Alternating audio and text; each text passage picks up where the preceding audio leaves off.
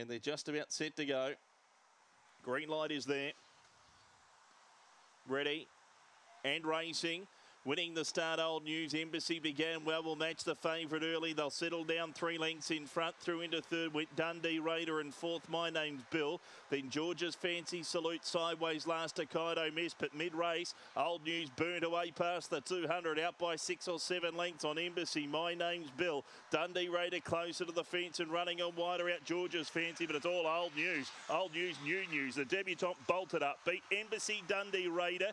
Fourth in maybe George's Fancy from My Name's Bill.